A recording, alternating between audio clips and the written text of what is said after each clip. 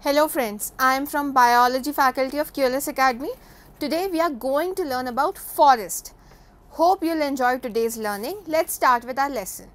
आप लोगों में से मैक्सिमम स्टूडेंट्स ने फॉरेस्ट तो देखा ही होगा जब आप लोग ट्रेन से ट्रैवल करते होंगे तब भी आपने फॉरेस्ट देखा होगा we all enjoy walking in the forest but why do we need to study about forest Forests are of great importance to any country and mankind as a whole.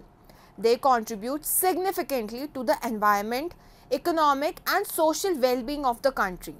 We and every other living organism on this planet cannot survive without forest. Now the main question, what is a forest? हम forest किसको कह सकते हैं? The forest is a complex ecosystem consisting mainly of trees that buffer the earth and support a great number of life forms. Now, we use the word complex ecosystem for forest. What exactly is ecosystem? An ecosystem includes all of the living things that is plants, animals and all other organisms in a given area interacting with each other and also with the non-living components such as weather, earth, sun, soil, climate, atmosphere.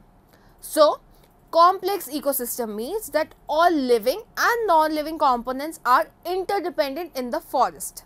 Now, forests have changing ecosystem. The ecosystem in the forest is not constant. The trees help create a special environment which in turn affects the kinds of animals and plants that can exist in the forest. Forest includes variety of living organisms in them. The organisms living in the forest are interdependent on each other. They either directly or indirectly affect human beings that is us also. Now, what kind of plants can we find in the forest?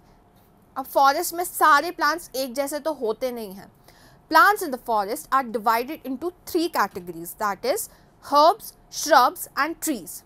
All these categories varies in their size, shape and other characteristics. these are also covered by creepers and climbers.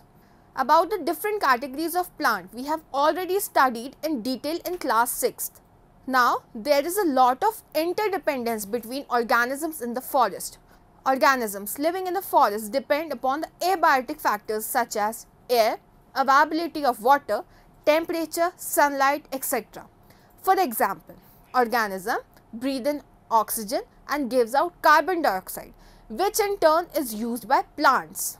Now, what is the most important characteristic of plant? Plant can synthesize their own food and store that in their body. Animals make use of this food for survival. Some animal depends on smaller animals for food. Now, a question to think about. How plants are dependent on animals? Plants also depend on animals for the processes like pollination and seed dispersal. Different agents of seed dispersal includes animals such as monkeys, buffaloes, birds, insects, etc. Also, when animals die, they decompose and become natural fertilizers for plants. Dead bodies of animals decay and release nutrients to the soil. These nutrients are then utilized by plants for their growth. Now, a very important topic that is food chain that is related to forest. For an ecosystem to work, there has to be a flow of energy within it. The organisms of the ecosystem need energy in the form of food. Therefore, forests have a very important and peculiar process going on 24 hours 7 that is food chain. Now, chain of events occurring in the environment to transfer energy from one level to another is referred to as food chain.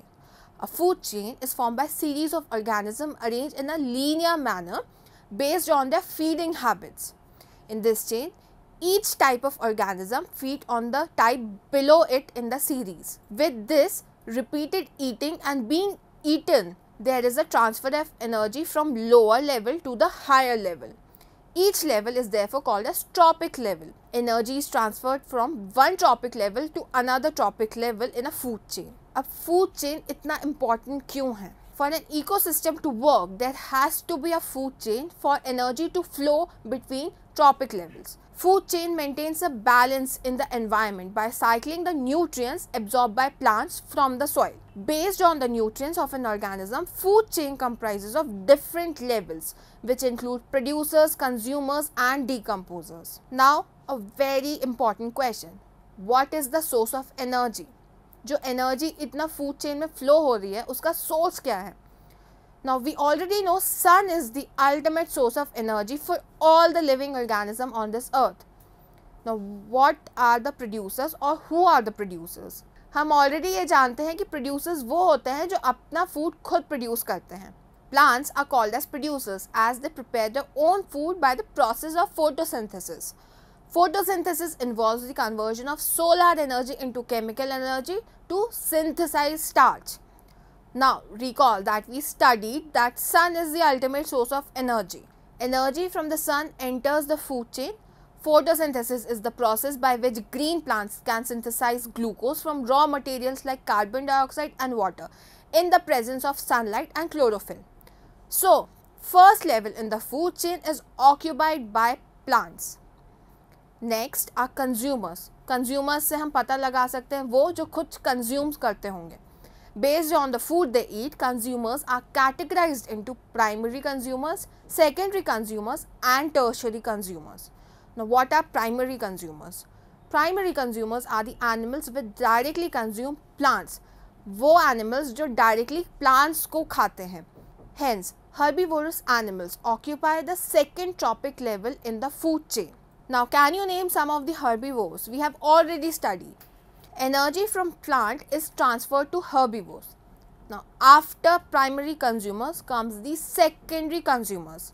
They are the animals which consumes herbivores and are called as carnivorous animals. They occupy the third trophic level in the food chain. Energy from the herbivores is transferred to the carnivores. Now, tertiary consumers are the carnivores which consume other carnivorous animals. They occupy the topmost level in the food chain. Energy from the third level of the food chain is transferred to the final level. For example, in a forest ecosystem, grass is eaten by deer, which is in turn eaten by a tiger. Now, the grass, deer and tiger form a food chain. In this food chain, energy flows from grass that is the producers to the deer that is the primary consumers to the tiger. They are secondary consumers. So remember, a food chain always begins with the producers. हर एक food chain ecosystem का producer से ही start होता है herbivores that is plant eaters come next in the chain they are consumed by carnivores that is flesh eaters her living organisms की एक life span होती है now, have you ever wondered what exactly happens to the dead body of an organism? This is where decomposers plays an important role in the food chain. क्या आपको लगता है कि forest में सिर्फ एक ही फूड चेन होगा इन a forest ecosystem there are number of food chains this is because of the variety of organisms and their different food habits. This is the reason why different food chain become interlinked with each other at different points forming some sort of interlocking pattern. This pattern is called as food web like a spider web. In the food web, one population of an animal is consumed by another number of predators which in turn are consumed by many other predators. In other words, in a food web, an organism of a particular trophic level gets its food from more than one trophic level in a food chain. If tigers increase in the number in the forest, they will consume more deer. This will decrease the number of deer and the tigers might suffer from starvation due to shortage of their food supply. When the number of tiger reduces, fewer deer will be killed and their population would again increase in due course. This is one of the example to explain the natural balance operating in any ecosystem. Now the importance of forest cannot be underestimated. We depend on forest for our survival. From the air we breathe to the wood we use. Besides providing habitats for animals and livelihoods for humans, forests also offer watershed protection, prevent soil erosion and mitigate climate change. Yet, despite our dependence on forests, we are still allowing them to disappear.